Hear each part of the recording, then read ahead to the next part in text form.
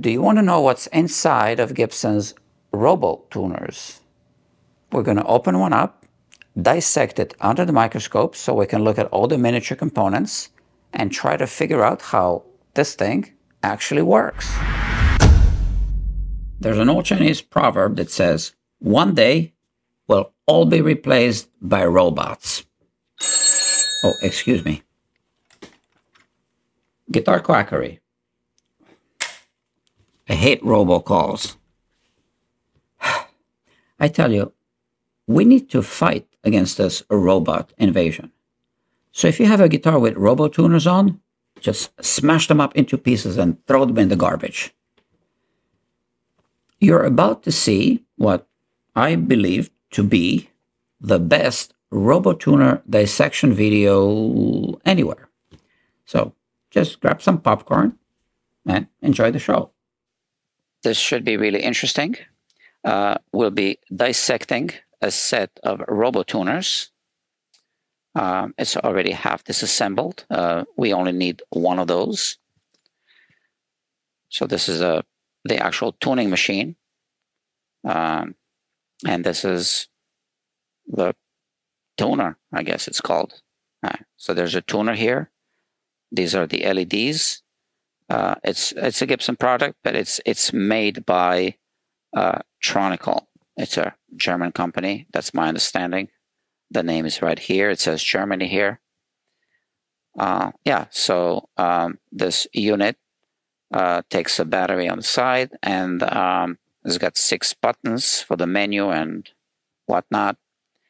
And uh, yeah, and this is a, a circuit board with uh, these contact pads here. Okay, we'll uh, have a closer look at this. We'll disassemble this unit. Now, I won't be able to tell you electronically how this thing works, but uh, mechanically, yeah, we'll get a good idea uh, because we'll take it apart. So um, I have a dissection kit right here. We'll be using. I have some other tools here in case I need them. Uh, first thing we'll need is a screwdriver with this tip. This is it. So um, I already uh, measured this. Uh, this is a, a number zero Phillips uh, screwdriver tip, just in case you ever need it. That's the one that fits perfectly here.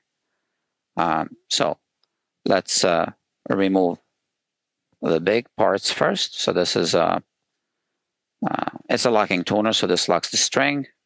This is the ring nut. Okay. And the washer. Okay. So these uh, tuning machines are mounted through these holes. Okay. And then this whole unit goes on the back of the headstock.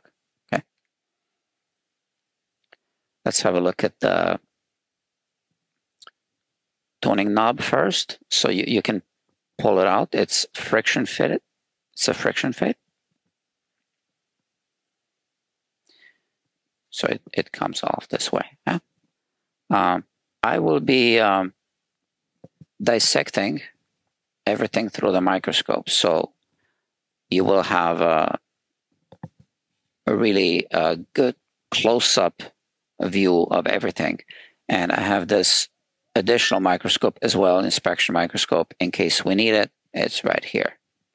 All right. So um, now let's uh, pull this knob off completely. So I already started pulling it.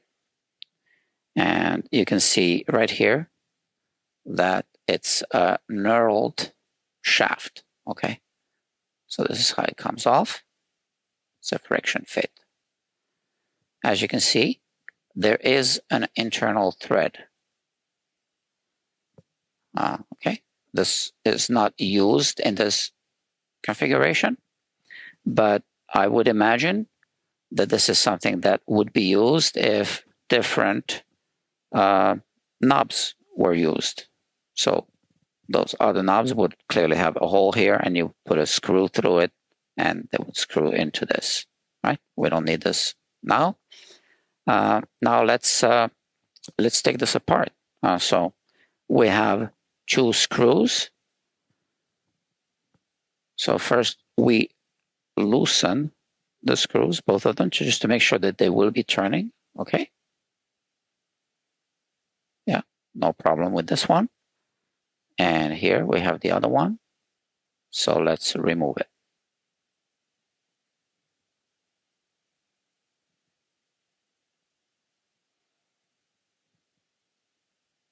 Okay, this is it. This is the screw. Let's uh, have a closer look at this screw. It's not a machine thread, so it's it's uh, threaded into plastic, I guess. Doesn't look like a machine thread. Well, we'll have a closer look when we uh, dissect it.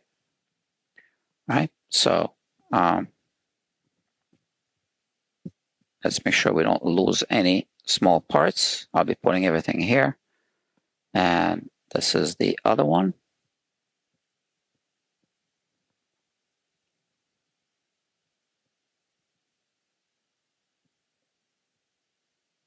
That's it.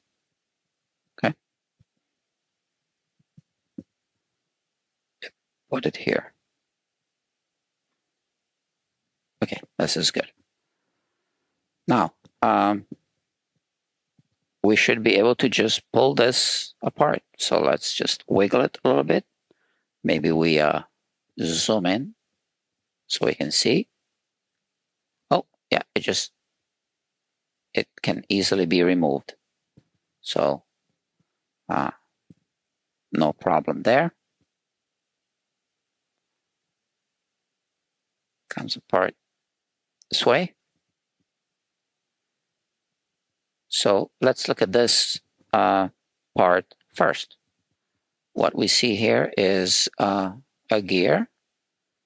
And, you know, I have to say that this is a high quality gear. It's really well made.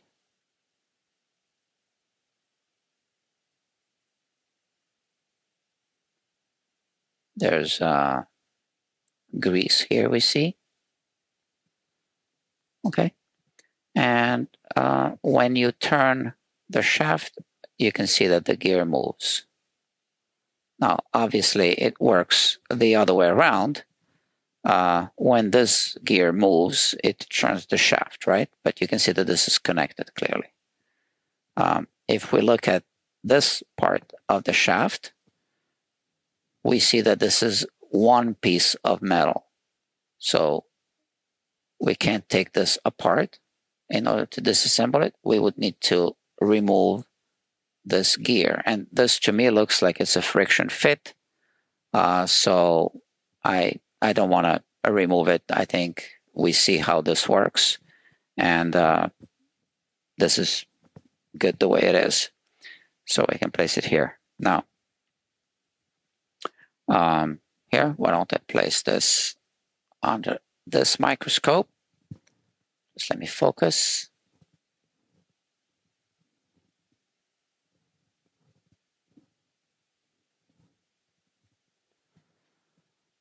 What we see here is a small gearbox.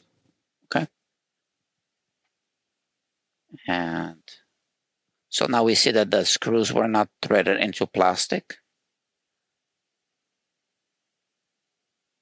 but they don't really look like machine screws to me. I don't know. I guess that's not really important. We see those uh, contact terminals right here. Let's focus. They look to be gold plated to me. Okay, they are connected to the servo motor, which is this unit here. Okay, it's a miniature motor. And we see the gearbox. The other uh, screw is uh, going to go here, right? And this is the shaft for the tuning knob. Okay. Now, um, we want to see what happens, perhaps what happens when we turn um, the tuning knob. So we put the knob back on the shaft.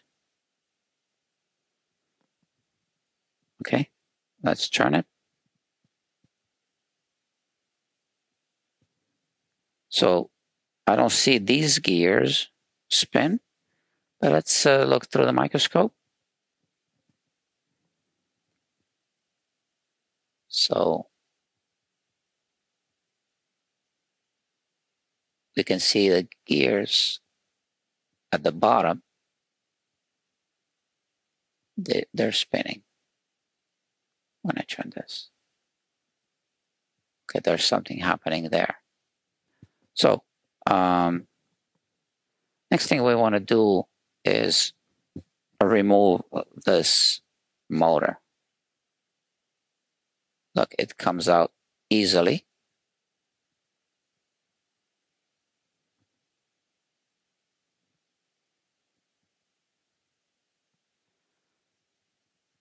Let's look at the gear first. Uh, I believe this is called a pinion gear. Is it a plastic gear? Looks like nylon.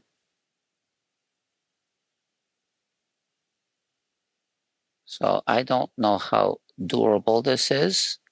Sometimes plastic gears simply disintegrate over time, especially when you put a lubricant on it. There's a chemical reaction that is slow, but over the years, that can simply fall apart and crumble into pieces.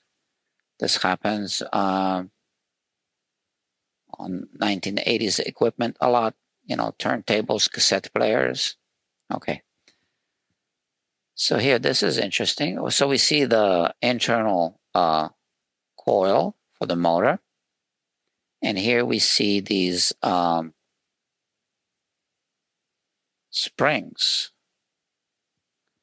they do look to be gold plated. And that's because, um, well, gold does not oxidize. So when these components are gold plated, uh, you ensure a good electrical connection between two parts, although this part here is not gold plated. But the pin is, but the gold is wearing off, okay, on this one. So this is a nice here, nice view because we can see through this um, slot, open slot, we can see the entire spring and how it's connected to the pin. And then it's connected to this uh, terminal right here. Okay. So I can't really push uh, the pin now because this is disassembled, but they are spring loaded.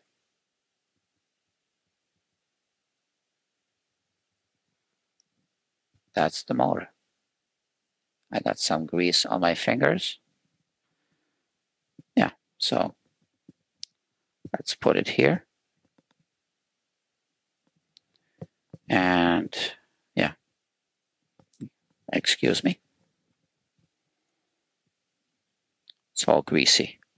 Now we want to look at that gearbox up close. So why don't we do that? This is the gearbox. So this uh, this is where the pinion gear goes from the motor, right? It turns this gear, and then you can see how the gears are all connected. So what happens if I turn this?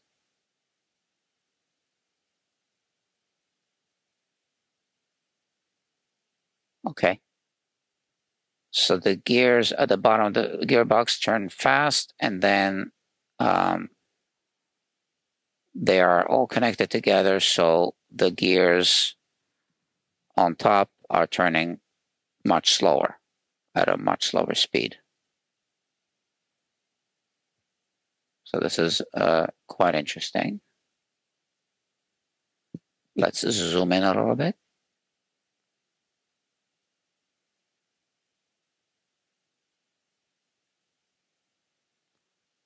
Okay, I'll just let you observe this. So if I turn it, this is how it spins.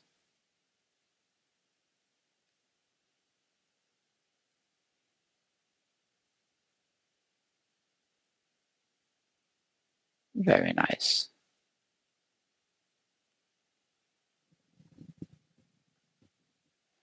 Okay, I think we've seen enough.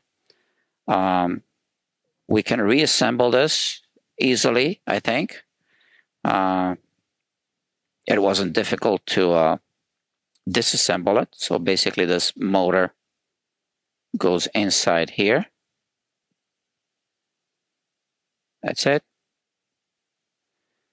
Maybe we turn this so that the gear spins so that it goes in place.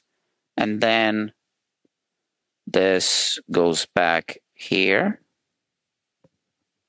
And we need to spin the shaft so that the gears fall in the right place, the right places, right? The teeth. Okay, I won't be reassembling this now. now let's look at the electronic components. got grease all over my fingers. Okay. Oh. Um, this unit is uh, well, it's um, somehow assembled without screws. I don't see any screws. These look like uh, positioning pins. So what I am going to do is um, I'll take this, okay, uh, and try try to pry it open, see what happens. Let's start here.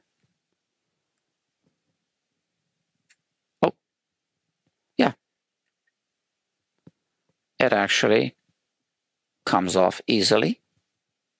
Looks like it was disassembled at some point in the past. Uh, this is obviously used equipment. And we see uh, a double-sided adhesive tape. So that's all that's holding it together. Okay? Just like that. Now, if we look at this uh, circuit board, we see the uh, connector here, and this is a piezoelectric uh, pickup. I believe this is um, a sensor. It's it's the same exact uh, type of pickup you would find uh, under the saddle of an acoustic guitar, right, to pick up the vibrations. And you have the same inside of a, a clip-on tuner. Okay, uh, these are the terminals, the contact pads. So that's the piezoelectric pickup. And the connector, we have here some electronic components I don't know what they do. Those are called SMD components, okay, which means uh, surface mount components, microelectronics, okay? Now let's uh, remove this part. uh, maybe with this tool. Okay, that's those are that just snaps together as you can see. So we can just pry it open on both sides and should come come off. Oh, there you go. Pretty easy. Let's see what's here. Let's put this aside for now. This is just a shell. It does have this uh, clip here, which is spring loaded. This is just for um, to hold the battery. Uh, so the battery slides in through the side. I don't have it. Uh, and it just uh, holds it in place, I think. It's a, it's a push-push locking mechanism, uh, which I guess I can show you um, a close-up of that. So here we do see a spring uh, right there inside. And yeah. On some cabinet doors, you have the same exact thing. You know, when you close the cabinet door and then you need to push it in in order to unlock it and open the door. Okay. But now uh, let's have a look at this. Okay, we have um, a circuit board on the inside. I don't see any screws, so I think we can just pull it out. Yeah, just like that. Okay, here it is. Uh, let's look at this first. Uh, here we see uh, these buttons. So if I uh, if I flip this, they will fall out, but these are the buttons that you see on the outside. The menu buttons, navigation. So here they are. And um, this is see-through. So light shines through and the LEDs illuminate uh, these letters and the BAT for battery and menu here. Okay, that's that. Uh, and the LEDs are here. We can see them right here. Uh, so there's six of them here. And so let's look at this unit and two of them here somewhere. One, two uh, through the microscope, we can clearly see the LEDs. Okay, so this is an LED right there. Okay. Another one. And uh, six of them here. Six LEDs. Okay.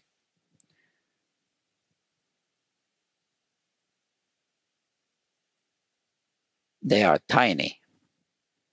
Um, once again, I can't explain how the circuit works. Um, I will be able to identify some of the electronic components, but I really don't know how it works. Uh, my understanding of electronics is limited. Okay, I'm more of a mechanical person. So, yeah, uh, let's have a look.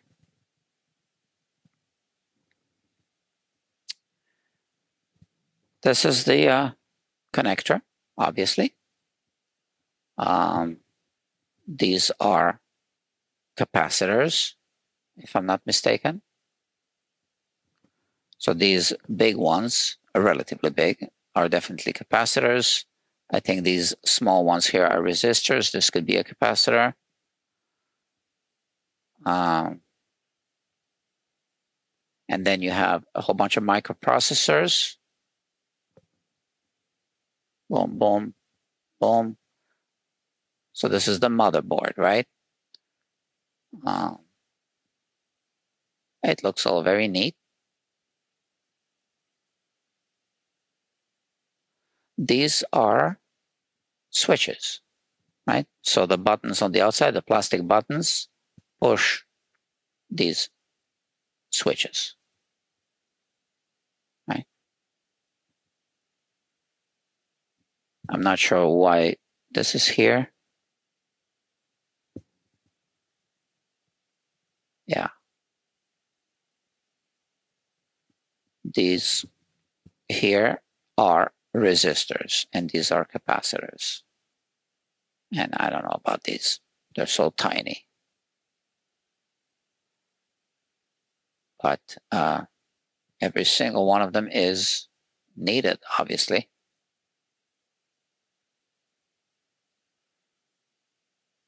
Hmm. Very nice. I could look at this all day. This is a transistor.